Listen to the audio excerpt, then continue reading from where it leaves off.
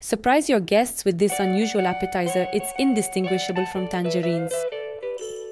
First, finely chop the boiled chicken meat with a knife and put it into a bowl. Then grate any type of hard cheese and add boiled eggs to the meat. Season it with sour cream or yogurt, grate some garlic, don't forget to add salt and pepper and mix everything thoroughly with a spatula.